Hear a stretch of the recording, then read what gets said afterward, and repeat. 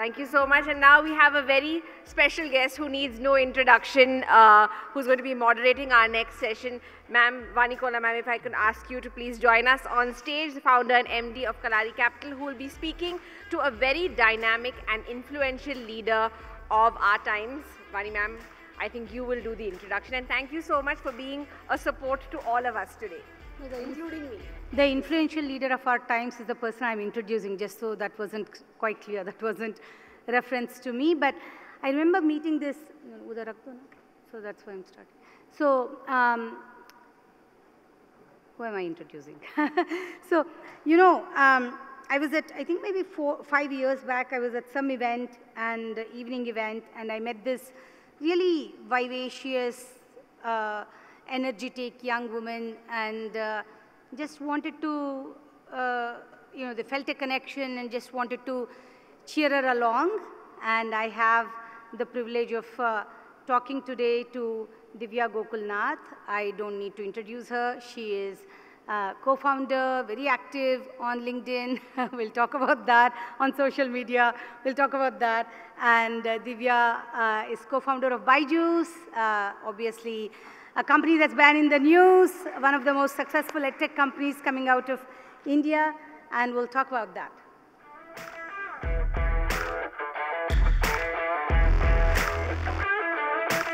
Who's talking about being influential? She has 1 million followers. So, ಹೇಗಿದ್ದೀರಾ ಚೆನ್ನಾಗಿದ್ದೀನಿ ನೀವು ಹೇಗಿದ್ದೀರಾ So we both discovered that we have a couple of common things, and uh, uh, including how uh, we were raised uh, in terms of language, which we'll talk about um, in a minute.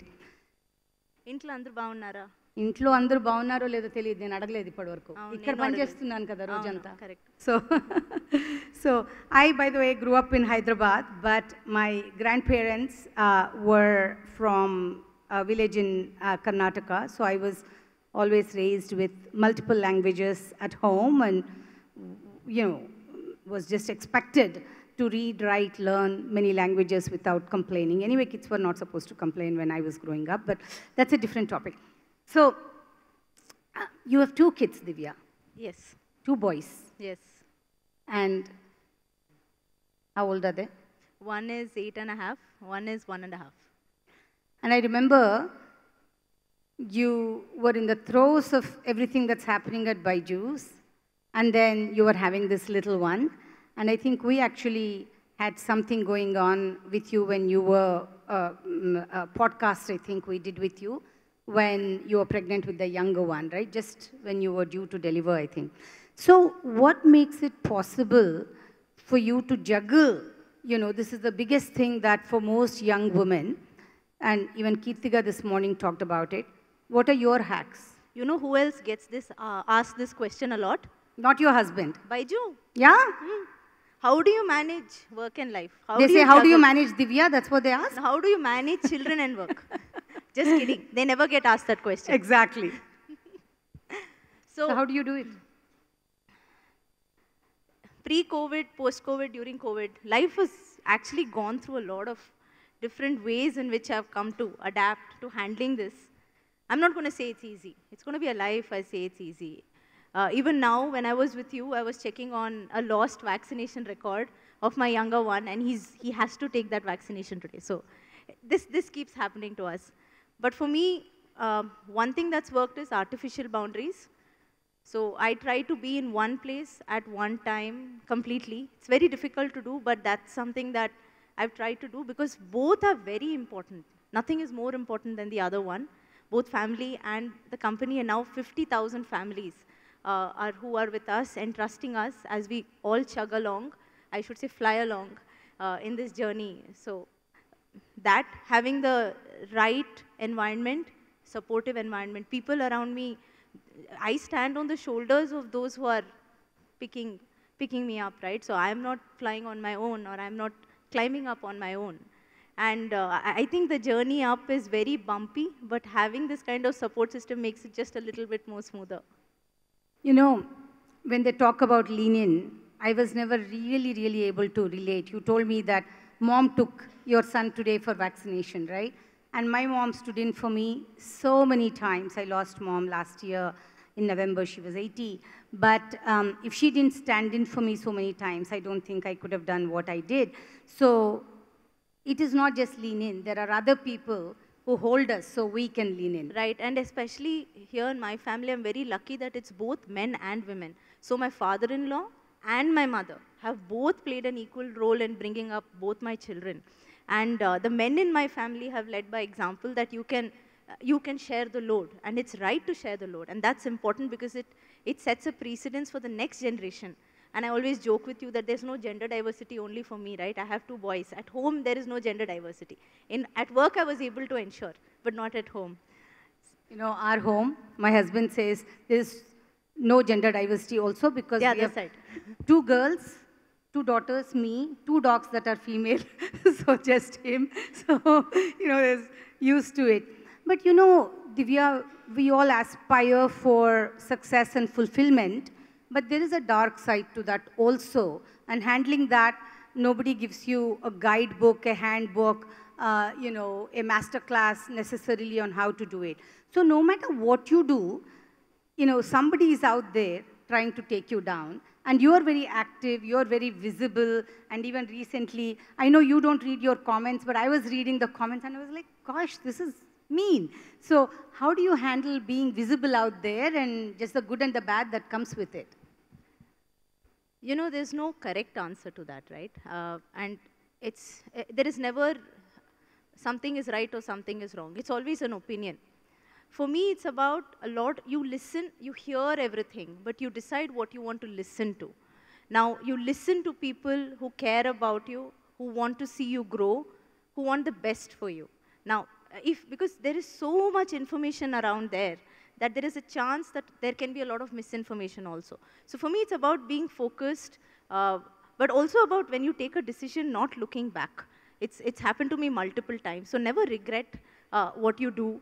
Now, it's not that I don't read. Of course, I read the comments, right? I, I do read the comments, but I also look at what I've done. I usually do it for, for example, the latest one, I did it for the 50,000 people who work with us uh, because there was clarity needed. And when clarity was needed, I felt this was the right way to do it. Now, there will be a lot of people who will say, look, what you did was not right. There will be a lot of people who will say, we stand by you. I was flooded by messages of people who said, today we feel proud to be part of a community where we have a courageous leader, someone who can stand up for us. So, I, like, I don't think there is anything right, there's anything wrong. It's, uh, it's just about how you view it. And it's always never the situation, right? It's your reaction to the situation. So, uh, for me, like I said, I, I just want to say that um, I hear everything, but I choose uh, what I listen to.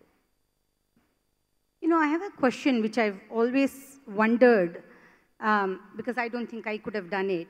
You and your husband are founders of a very successful company. In fact, Srini and I were in the same engineering college, but I was very clear when we married, we have to lead very separate personal and professional lives. I can't deal with both being so integrated because I didn't think I could um, sort of carve an identity for myself. But you have done that, right? So how do you, when you co-found and something is really successful, how easy or hard is it to create an identity of your own and what was your journey to do that? First of all, I don't think we are successful. We have a very long way to go. We have lots more uh, to do, and I think we're just getting started.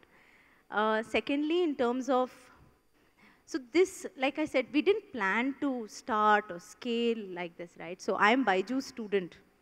So there was somebody who asked me, Byju the co-founder or, uh, you know, Byju uh, the husband? I said, Byju the teacher. That was my response because that's my first relationship with him. There's a lot that I've learned from him along the journey.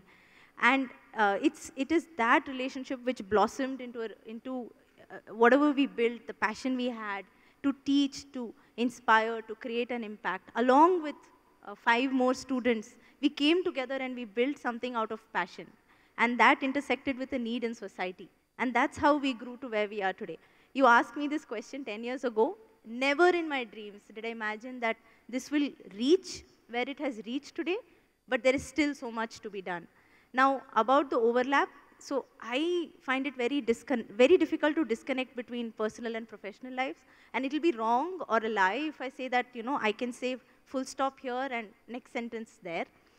So it is, uh, it is, there is a lot of overlap, but if you enjoy what you do, there will be good times, there will be tough times, there will be bad times. But then when your eye is on the ultimate mission, which is well, you know where you're going. We are here for the decades to come, right? We are not serial entrepreneurs. We are, we've been doing this for the last 15 years. We'll do it for the next 30 years at least, till we can do it, right? So uh, that's why I, both of us enjoy. We enjoy doing everything together. We enjoy traveling together. We enjoy working together. And we love spending time with the kids and also working out together. So, What's your favorite workout together? um, high intensity interval training. So who wins? See, nowadays I'm winning because somehow I'm managing to keep th- those 30 minutes aside for myself.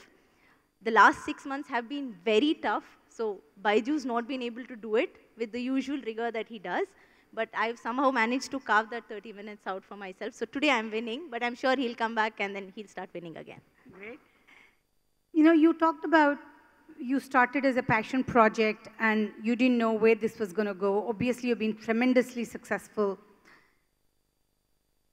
You know, when you pause and say, what next? I know you said next 30 years I'm going to do that, but what, you know, what now gives you meaning and what is it that would make you satisfied 10 years from now, let alone 30 years from now? So in education, uh, the impact is something which is generational, right? Like, uh, and in fact, especially with women, you educate a girl, you educate a generation. If you educate a girl, she'll ensure her children are educated. So the impact is massive. I'm lucky to be in a segment which creates so much impact. Uh, for me, I think we need to move towards an understanding of education that it's not about attendance, but about attention right? Today, what is compulsory is 85% attendance, say in a classroom.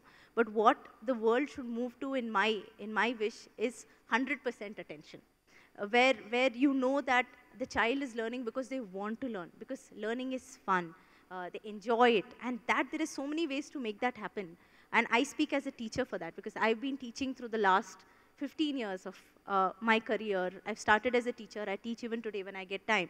And I've seen the tremendous impact the right kind of teacher and of course the parents can have on a child and help them become better learners and fall in love with learning. So for me, uh, like I said, my, the future for me is when I see that every child that we touch is becoming a self-learner, an active learner, a learner not driven by the fear of exams, but by the love for learning. So, Divya, a lot of women out here, uh, because they, in all of us want to live our best selves, our best lives, right? So, any learnings, hacks, what do you want to share? So, one thing is that, see, we, we are known to multitask as women, right? And that's supposed to be a strength, but that same strength can come back and hit us. So I believe that if, if there are 10 things that we want to do, it's better to pick up the top three things and give 100% to it than try and give 10% to 10 different things by trying to do everything at the same time. And the second thing is by giving yourself time. Now, it's very underrated. It can sound selfish in a world where, uh, you know, they believe women have to put family first. Yes, put family first. Yes, put work first. But put yourself somewhere in that list. Because if you are happier and you are healthier, because health is everything. We just saw that from uh, the lady who just spoke. That health, you have health on your side, you can achieve whatever you want. The only thing that can stop you is when you're not healthy, right? Everything else is in your control. So you, if you can spend that much time on yourself, taking care of yourself, you become, you're enabled to take care of everybody else around you.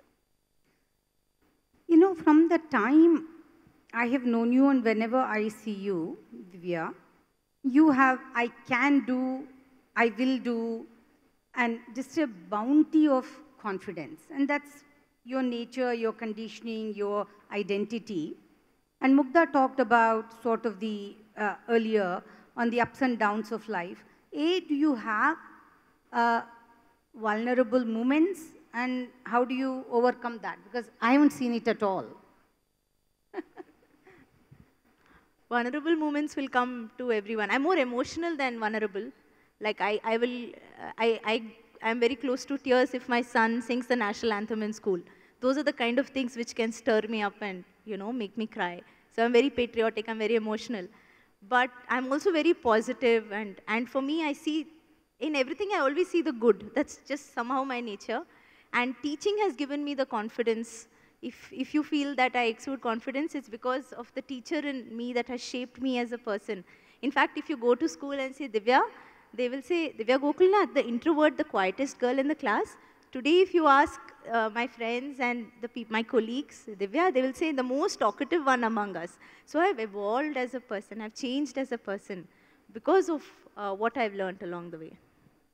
So do you remember what, and, and I always look back to my own life and wonder how you know, life takes you in so many different paths, but do you remember what was your earliest career aspiration? What did you want to be?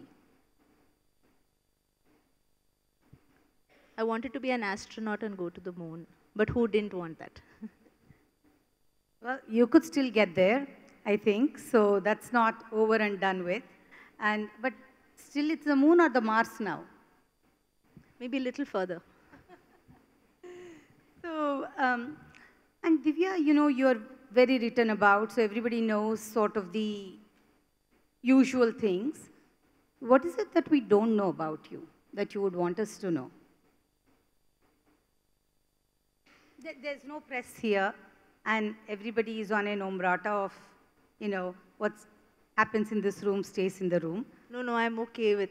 I mean, there's uh, so you know there is this joke there, like okay, your your book has pages uh, you know, there are pages missing or closed. And I say my life is an open book, you know, and it's, it's, if, if I'm able to inspire people, especially young girls, to live their dream by what I'm doing, then I'm, I'm very happy. If I'm able to learn from women like you every day, that's what makes me happy. So what you don't know about me, I'm a singer. Oh. Uh, well, then we need something. Give us a line. Uh, Hindi or English? Hindi? Hindi? Hindi is good. Hindi is good for everybody? Okay.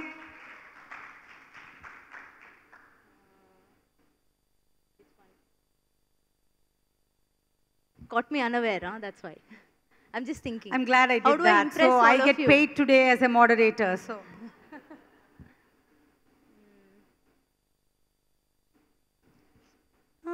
आपकी नज़रों ने समझा, प्यार के काबिल मुझे। दिल की ये धड़कन ठहर जा, मिल गई मंजिल मुझे। आपकी नज़रों ने समझा।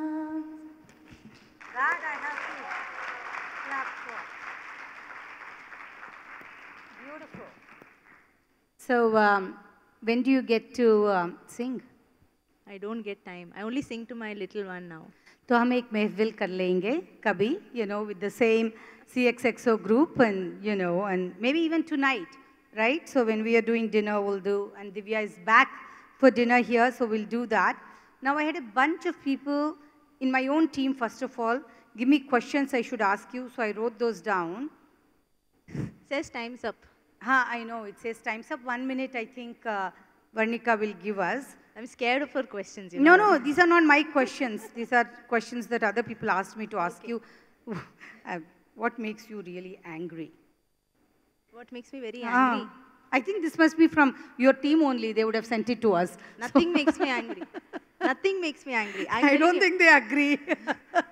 No, you should ask Shobha sitting there. Ask her whether I've Shobha ever क्या बोलेगी? शोभा तो वही कहेगी ना. If if I'm under stress, she will know first. And I'm telling you, no, for me, life is in the middle. Like there there are no extremes. I I feel very very happy, but I've never felt very very angry. What is there to be angry about?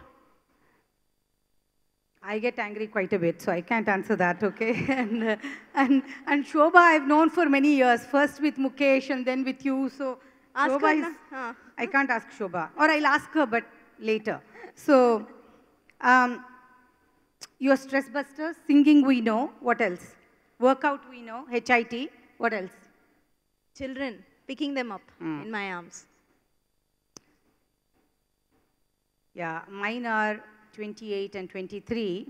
So there's a phase I warn you, you go through. You said, are they mine? So that happens too. But it gets better. After they turn 20, it gets better. But there's a period where you know nothing, right? They know Scared. everything. They know me. everything. So next one is, uh, what do you love most about yourself? Not my questions. Mm, maybe the fact that when someone, like people, they generally try to put me under stress, but I can laugh it off. You know, they think they're stressing me, but that I can laugh and give an answer. I think I like that I am able to handle that. which you are doing right now, to a tricky question. uh, your leadership style, one word about your leadership style. To empower, to, lead by example. Last question was what are you working on to improve in yourself? So I think I can be a better version of myself every single day, every aspect. I'm learning every single day. That's the motto of me personally, professionally, everywhere. So I learn from my children, I learn from my family, my parents, my husband, my parents, like my in-laws, everyone. I even learn from things around me, my surroundings. So for me, it's about a continuous learning exercise. So I, I, everything I can improve frankly. I'm, I'm sure I can be more confident, I can speak better, I can impact more students, I can uh, help more women, I can learn more from women like you. So I can do everything better tomorrow. Thank you, Divya. Loved it. And uh,